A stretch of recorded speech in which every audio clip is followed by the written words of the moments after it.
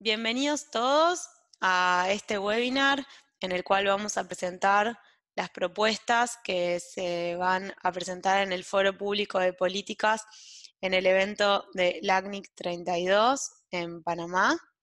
Eh, en esta oportunidad vamos a presentar, eh, si bien se van a, presentar en el foro 10 por, hasta ahora 10 propuestas de política, eh, vamos a presentar en este webinar dos, que son las nuevas, eh, que se van a presentar con respecto al foro pasado. Eh, una tiene que ver con eh, la modificación del tiempo necesario para que una propuesta sea presentada en el foro público de políticas y el autor es Edmundo Casares.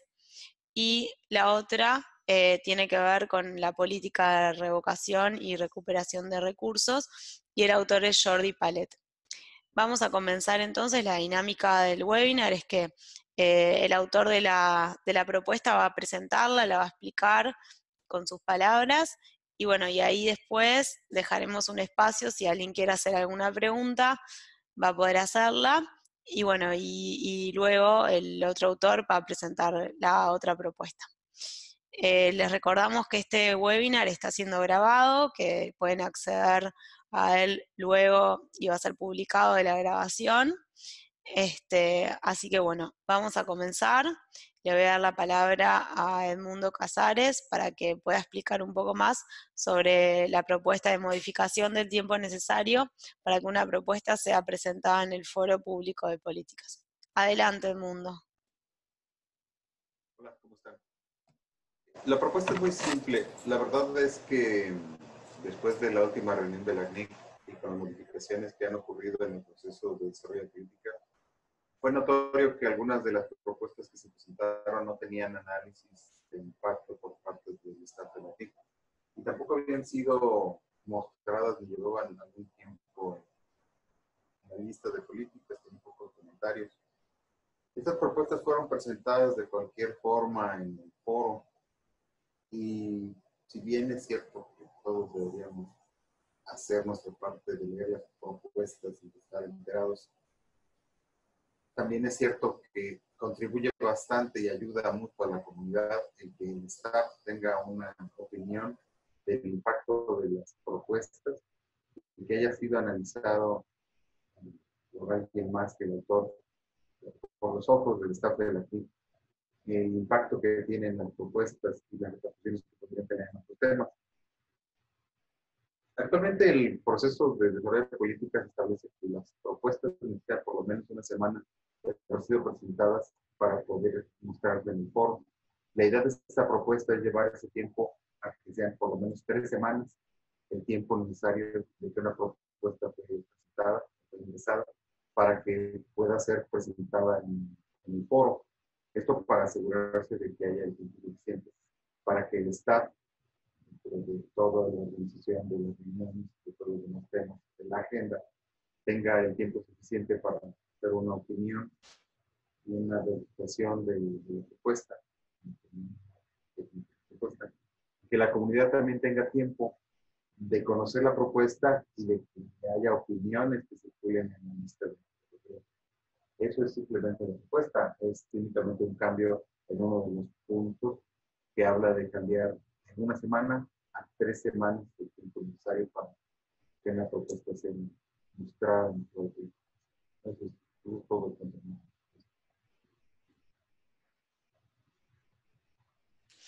Bien, muchas gracias Edmundo. Este, para dar un poquito más de contexto, esta es la segunda versión de la propuesta que se presenta. Inicialmente eh, había una versión anterior eh, y, bueno, de acuerdo a algunos comentarios que se recibieron, eh, se pasó a una, a una versión 2. Y bueno, y esta es la, nueva versión. Eh, le voy a dar la palabra eh, a alguien si tiene preguntas. Jordi Pale tiene una pregunta. Adelante, Jordi. Sí, a ver, yo hice, hice este, este, comentario ya en la lista y, creo que no tuve respuesta. Eh, la verdad es que son dos aspectos diferentes. Por un lado, tres semanas, es verdad que antes era más tiempo, me sigue pareciendo muy excesivo, pero lo que veo más complicado es que eso aplique por igual a propuestas totalmente nuevas o a nuevas versiones. Eh, yo creo que lo que ocurrió en el último evento fue una coincidencia de factores, que hubo unos días feriados en, Uruguay la semana antes, que había varios webinars y entonces el staff estaba súper ocupado. Y yo creo que eso fue una casuística que impidió que se actualizaran los análisis de impacto. Sin embargo, la mayoría de las propuestas que se habían presentado con tan poco tiempo, eh, y lo digo con conocimiento de causa porque yo era el autor, las diferencias eran mínimas, a veces hasta editoriales, con lo cual no tendría sentido que se apliquen tres semanas eh, para, como digo, para una propuesta totalmente nueva que para una propuesta eh, que es, que es una versión nueva, ¿no? De una propuesta ya existente, valga la redundancia. Es decir, yo mantendría una semana para propuestas, para nuevas versiones, pero me iría a dos semanas para nuevas propuestas totalmente, ni siquiera tres. Y además el motivo por que digo dos semanas es por lo siguiente. Eh, hay, algo que, no se está teniendo en cuenta y que es que lo, que lo, insistí en la, en la, lista durante la, primera discusión y es que en el punto, eh, a ver si lo encuentro, proceso de desarrollo de políticas, en el punto 3.1 eh, del, del PDP nos indica que una vez que se sube una propuesta al formulario de la web, eh, el staff dispone de hasta dos semanas para publicarla. ¿Qué quiere decir eso? Que si el staff ve que porque no hay tiempo en la agenda o porque no hay tiempo para discutirlo, etcétera, etcétera, quiere demorar eh, la, presentación de una propuesta está en su derecho, con lo cual un autor que quiera garantizar que su propuesta se publica, hoy sin modificar nada, tendría que presentarla como mínimo tres semanas antes. ¿Ok?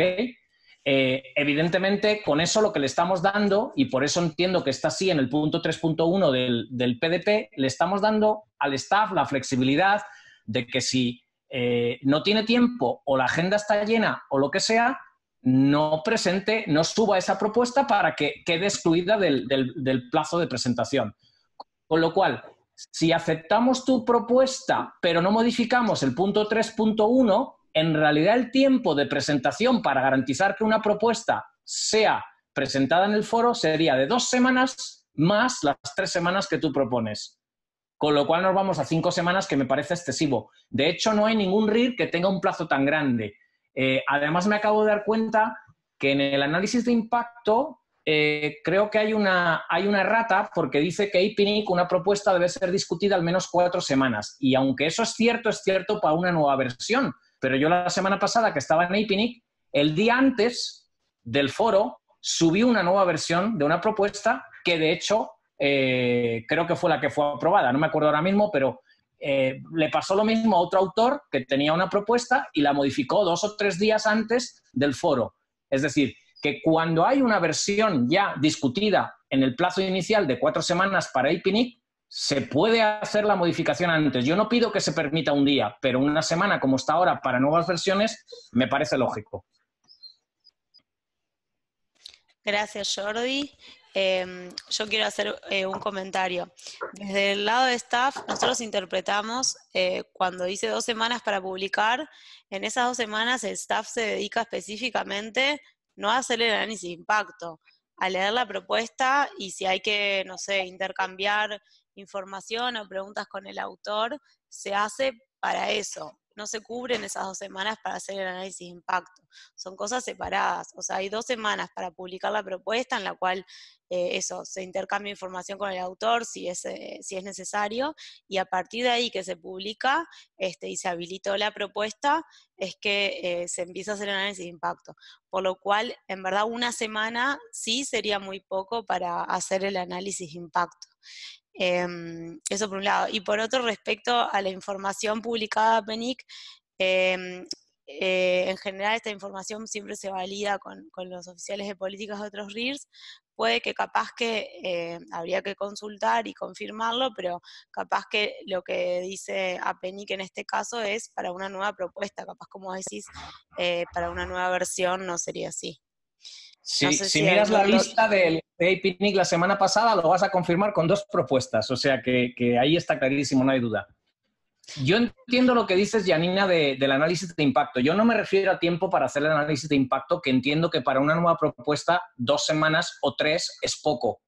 Eh, capaz que ahí pudiéramos irnos a cuatro semanas. Pero lo que quiero decir es que en realidad vosotros tenéis una herramienta que os la da a ese punto del PDP para, en caso de apuro de que veáis que no vais a poder hacer el análisis de impacto, no publicar la propuesta y no pasa nada. Entonces, si no queremos que se puedan acumular esos dos periodos, habría que modificar también ese apartado en el PDP para evitar esa posibilidad. ¿Me explico? Es decir, lo que no podemos tener es un sistema que diga, el staff puede demorar la publicación hasta dos semanas y ahora le añadimos tres semanas más. O una cosa o la otra para que sea coherente y tengamos un plazo en total máximo posible. Eso es lo que yo sugiero. Bien, de todas formas, desde nuestra parte, nosotros esas dos semanas eh, tratamos de, o sea, no las estiramos porque sí.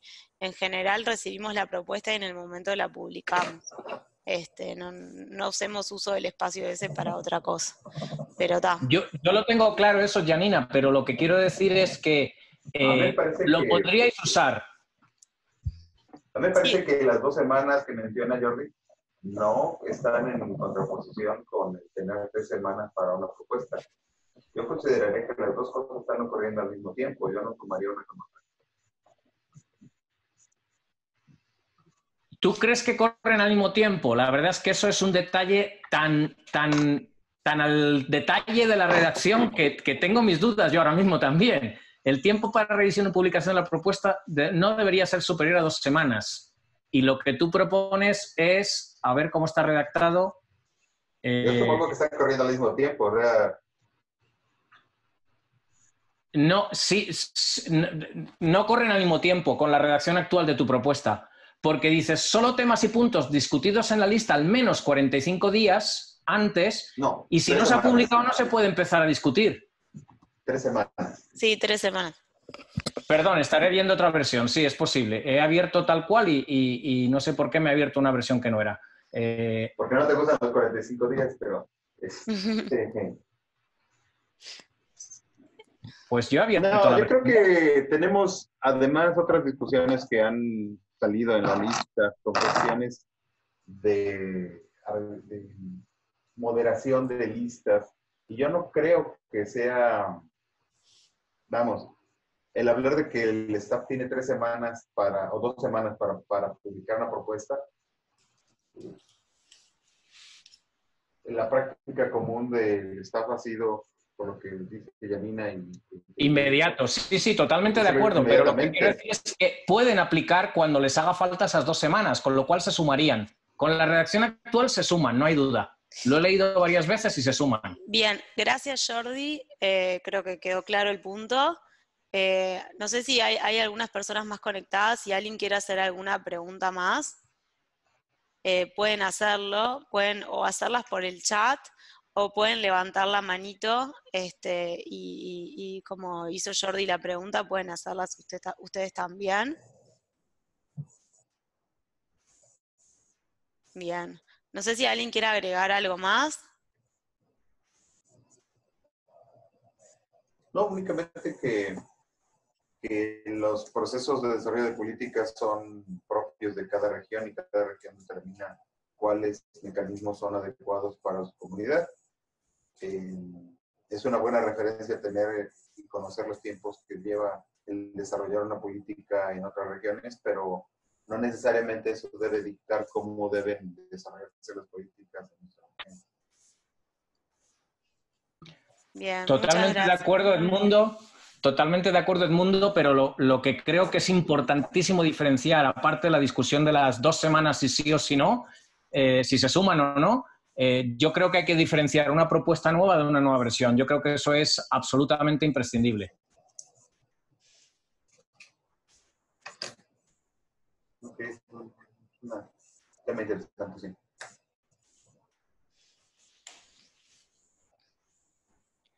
Bien, muchas gracias. No sé si alguien quiere agregar algo más o hacer alguna pregunta, pueden hacerlo ahora.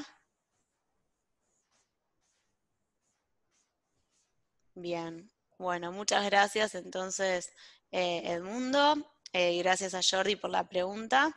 Y bueno, ahora le voy a dar la palabra a Jordi Palet para que explique sobre la actualización de recuperación y evolución de recursos y coherencia con el resto del manual. Eh, adelante, Jordi.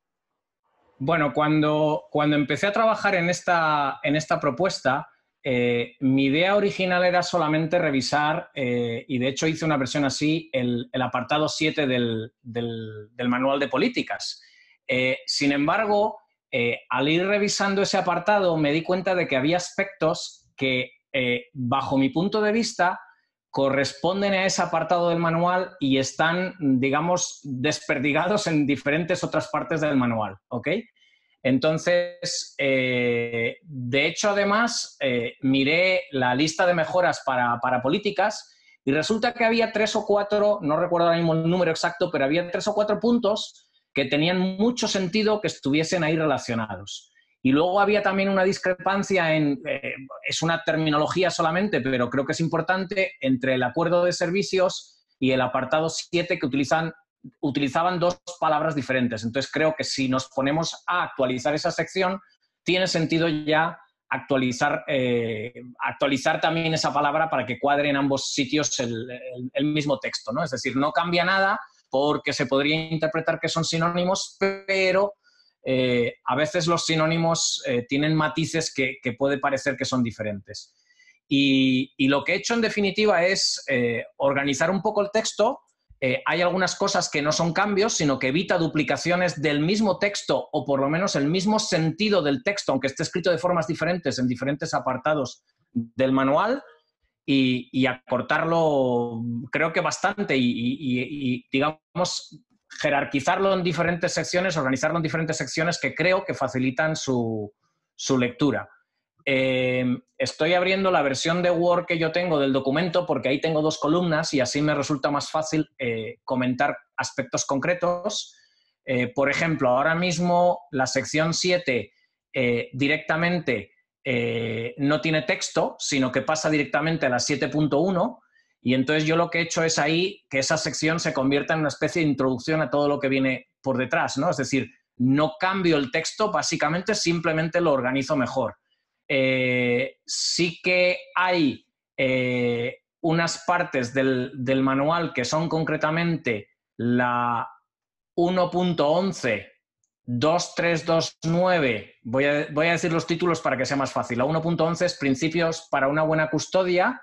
Eh, ahí organizo un cambio que era una de las mejoras propuestas y es que se habla de que los recursos deben de ser utilizados mayoritariamente en la región y la pregunta que siempre está en el aire es ¿qué es mayoritariamente? Entonces, mientras no lleguemos a otro acuerdo, eh, yo no tengo un número preferido, o sea, me da igual que sea un 50%, que un 80%, que un 90% dentro de la región, pero mientras nadie discuta eso, creo que mayoritariamente se debe de entender como más del 50%, ¿no? Yo creo que eso no deja lugar a dudas.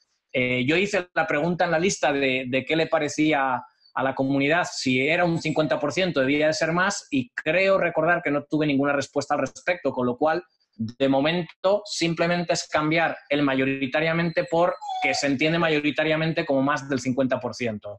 Eh, creo que de alguna manera sí despejamos esa duda para, siempre hasta que decidamos cambiarlo.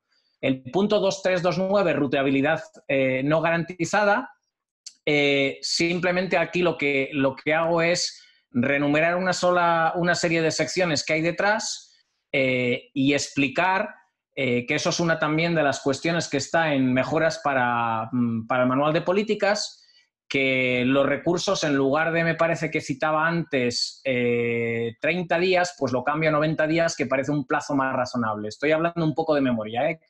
quizás me equivoco en alguna cifra, pero esa es un poco la idea de cómo pretende quedar.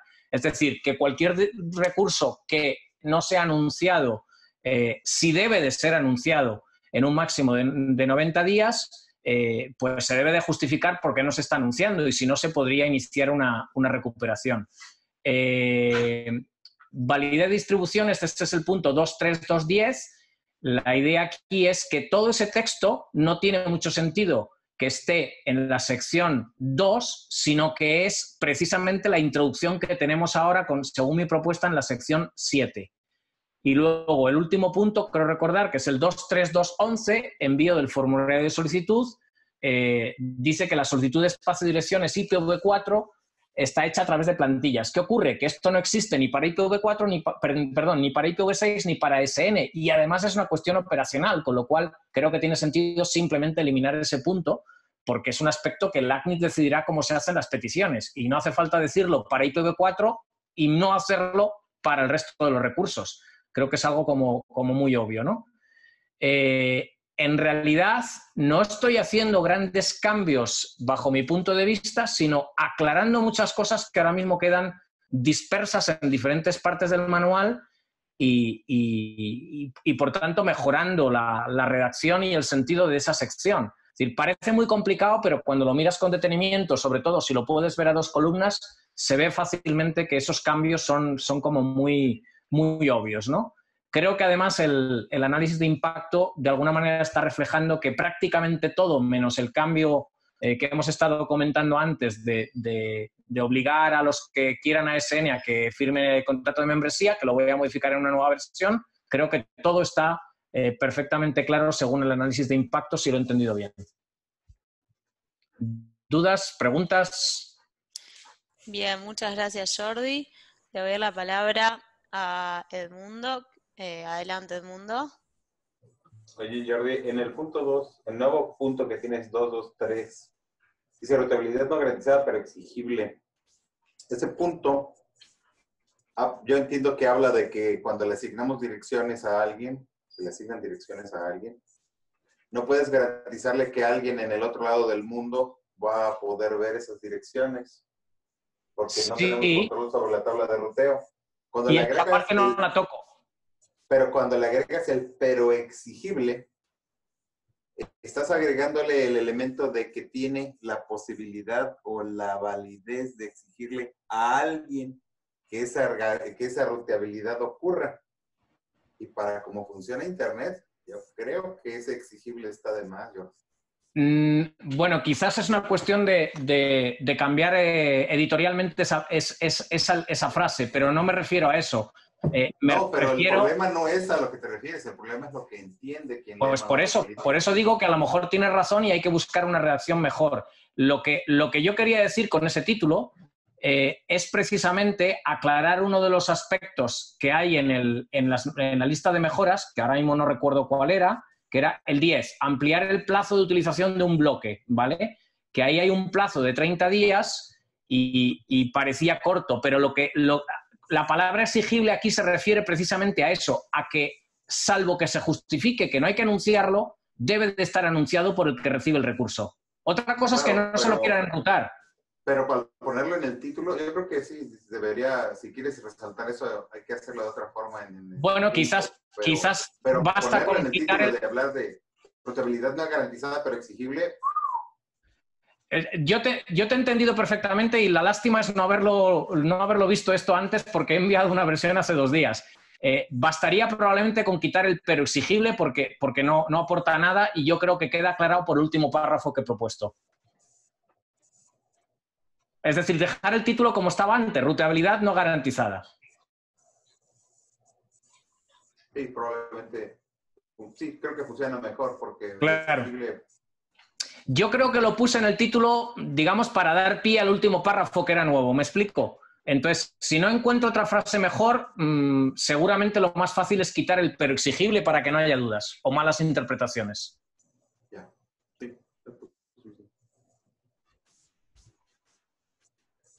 Bien, muchas gracias Edmundo. Le doy la palabra a Sergio Rojas. Adelante, Sergio.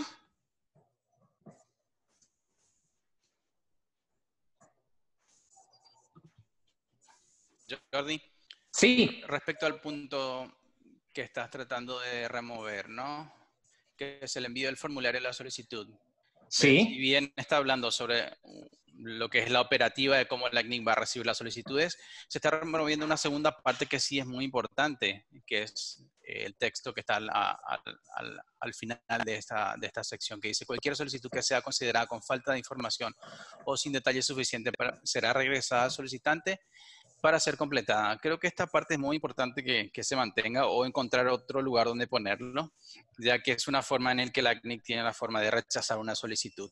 Eh, es cierto que están listados los requisitos este, en los distintos puntos distribuidos en, el manual de políticas, ya sea para IPv4, para IPv6, para SN. Eh, pero creo que sería importante tener esa, esa parte textual donde dice que si la información otorgada o no tiene suficiente detalle que ayude a la CNIC a analizar correctamente una solicitud, podrá ser devuelta eh, para que el solicitante vuelva a enviar la información lo más detallada posible. Eh, Sergio, entiendo. Como comentario. Sí, sí, sí, comprendido.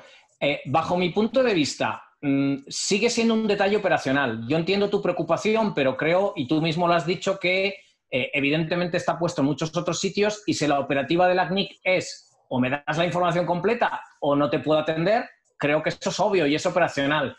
Pero si preferís, si creéis que debe de mantenerse ese texto, hay una solución muy sencilla, que es esa sección, la 23211, o con la redacción actual o con otra redacción quizás más corta, quizás poniendo solamente la última frase, como tú decías, llevarla a la parte 1 de definiciones. Porque así abarca todo el manual, porque es que ahora mismo está abarcando solo IPv4.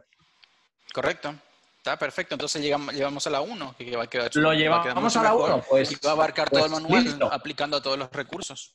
Estupendo. Voy a, voy a mirar cómo quedaría en la 1, pero creo que habría que poner un, nuevo apartado al final del actual y a lo mejor capaz que hay que cambiarle el título o algo para que sea más genérico, etcétera. Me parece un, un cambio muy, muy sencillo Insisto que yo creo que es un detalle operacional y muchas veces la discusión que tenemos es hasta qué punto las políticas entran en operativa y hasta qué punto no.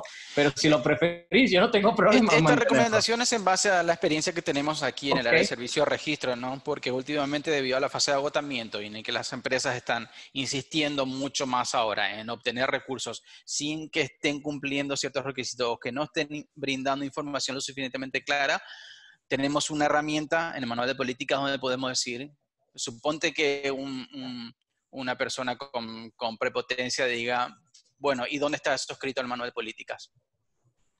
Entonces, una forma de ampararnos y de defendernos es, este punto del manual de política dice claro. Lo entiendo, lo entiendo perfectamente y salvo que vea alguna otra discrepancia más con lo que hemos hablado antes también con, con el mundo y lo de los recursos, lo de los ASN, eh, esta misma noche, eh, después de cenar, puedo presentar una nueva versión para, no esperar más. La otra opción es plantearlo en la lista y esperar unos días, pero yo creo que, son tres temas los que hemos hablado que, son muy evidentes y, que no creo que nadie diga que, se opone a ellos, ¿no? porque creo que aclaran y, aportan. No sé, eh, estoy abierto a sugerencias. Si preferís lo que no quiero es esperarme dos semanas, evidentemente, pero si preferís que lo comente primero en la lista y esperemos a estos tres puntos o, que mande una nueva versión. Abierto a las sugerencias que haya. Como quieras tú. tú, eres parte de la comunidad. El, problema, el problema es que ahora mismo la lista está muy callada. Igual lo mando a la lista y, no tenemos respuesta hasta dentro de dos semanas o ni siquiera llega respuesta. Pero bueno, luego me lo pienso y decido. Bueno, podemos intentar, podemos hacer una alternativa y es, lo mando a la lista, digo, salvo que alguien me diga lo contrario, el lunes mando una nueva versión. Listo, decidido, ya no hay duda. Bien, muchas gracias.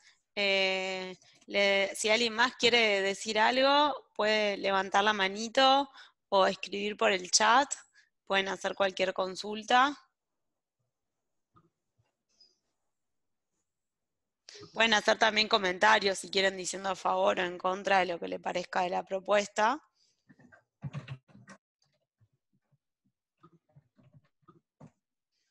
Bien, bueno, eh, entonces si nadie tiene más comentarios, este, le voy a agradecer eh, bueno, a Jordi y a Edmundo por participar, eh, por las contribuciones. les recuerdo que este webinar está siendo grabado y lo vamos a publicar este, luego en la web. Este, mm, y, vamos a compartir el video y las grabaciones.